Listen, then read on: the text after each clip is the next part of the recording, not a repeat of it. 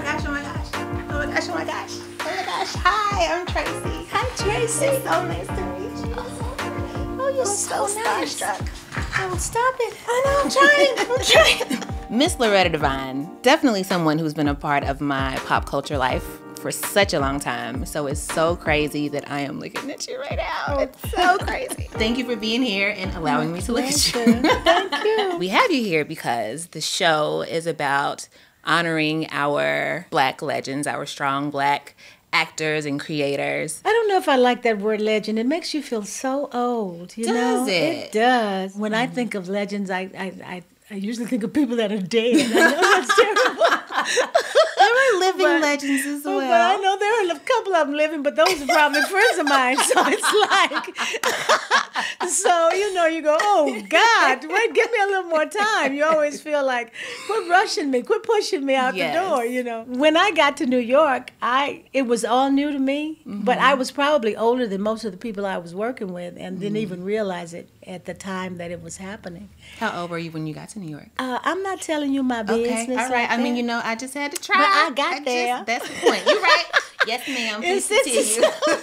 I got there around 67. I wasn't 76. Anyway, when I got there, uh, I, I, I figured out that you had to really get good at auditioning. You had to really love to audition to work. Mm. And I would audition for things that I knew I would never get cast for just to figure out how to learn the vibe in the room. I mm-hmm. really liked to audition, whereas a lot of my friends didn't. They would, you, if they got audition, they'd be all nervous, and I would get excited. Oh, I got an audition! Woo! Mm. Work always flowed to me. I don't know why. Mm-hmm. It's a blessing, and that's what I always say. Aren't you tired? Of what? I of, love. of working so hard. I love. I, I really love acting. Uh-huh. I, I, I, and I, I tell my husband all the time. It's, it's like you wake up and you're in a whole nother category from what you started. You know, they say you work to become an ingenue, uh, the, the ingenue type, then you want to be the leading lady type, and then all of a sudden you're playing everybody's grandmother. You go, what happened? know what happened. But you you know everybody go i i don't feel bad for you because you're working. And no matter what if you're working you're doing you know you're doing okay. Everybody in my peer group is working. And i was like it's so great to me to know that. Obba Babatundé shirley rav jennifer lewis all of the people that were in that crowd uh vivica uh you know everybody that was in that New York batch of people that sort of like gravitated to LA to try to become stars, Vanessa Bell Calloway. Oh God, you can just go on and on naming all of the people that are, are working and and have worked for so many years in this industry. It's just a great thing. It's a great club to be in. Waiting to exhale. Let me tell you, I don't know. I know I was too young to understand like Uh-huh. fully what was going on.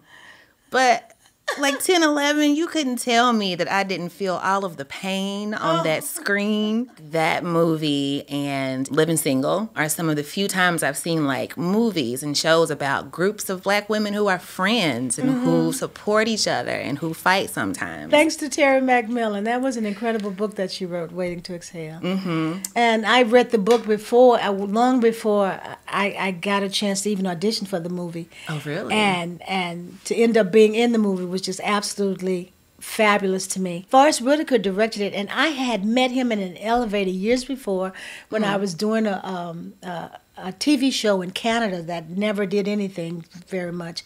But I hadn't seen any black people for like three months, and uh, the girl that I was acting with said, "It's a black man in the elevator," and I went ah, and started running, hit the elevator, and just froze. Went hello. So that was how the first how I, the first time I met Forest Whitaker, and I prayed that he didn't remember me from that elevator mm-hmm. thing when I had to audition for him for Waiting to Exhale, and mm-hmm. luckily I got the part. Did he remember? No, I don't think he did. To oh, this Oh, day, I man. did. I have not told him that I was the weird he may hear chick in the now. elevator that was.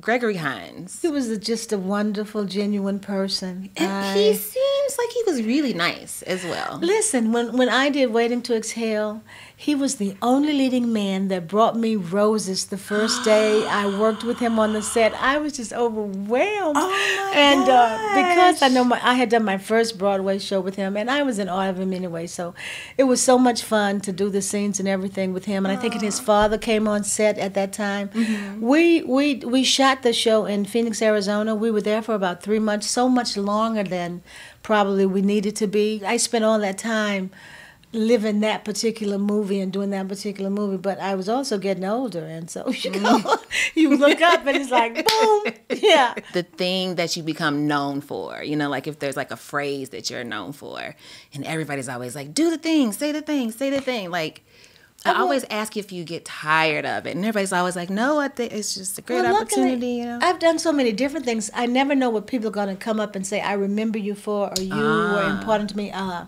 it depends on the race, too. A lot of, uh, um, uh, with black people, it could be just about anything. People come up and say, I saw you in Dirty Laundry last week. It's whatever's on TV. Or, I saw you, you know, in this Christmas. During the Christmas holidays, it's always about this Christmas. yeah. And or, or, or some show like that. Um, Grey's Anatomy. A lot Mm-hmm. of um, a lot of my white fans, they're the ones that said, "Oh, girl, you're the lady from from Grey's Grey's Anatomy." Anatomy. oh, yes, you're the you're the doctor's wife. You just never know what people are going to remember you from, and Yeah. you just be glad somebody remembered you. I was on Grey's Anatomy for like seven years, and I think out of that whole seven years, I only did 22 shows. So hmm. whenever I went on Grey's, I always felt sort of like a guest uh-huh. until I got an arc. I finally got an arc the time I had Alzheimer's on the show, hmm. and and I got a I, I I got an Emmy for that, and they killed me like the week after I got an Emmy. and to this day, I feel like what I do what what. What is enough? I don't know. enough? How could this be? I thought I said, "Oh, they gonna put me on the show now." Mm-mm, it was over. Wow. So you just, up. you just, it's so. You talk this- to you talk to Miss Worms about that. thing is so unpredictable, and so just never know um, what's gonna happen. You know, Uh huh. you just keep going. You go, oh well, next. Let me go find another role to die in. let me I go guess. find another job. so you just have to keep using those auditioning skills from way back in the day. Uh-huh. And, you know, you let it go and go on to whatever comes next. And you just pray something comes next. Yeah. And it's amazing because now I depend on all the young people that saw me when they were growing up. They're the ones that are, are passing out the jobs now.